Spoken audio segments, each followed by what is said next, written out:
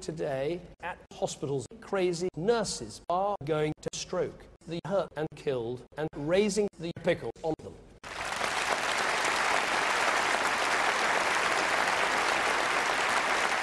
At hospitals, druggies are to be on fire, and then they are killed, and then they are to be fantasy land, waste for druggies.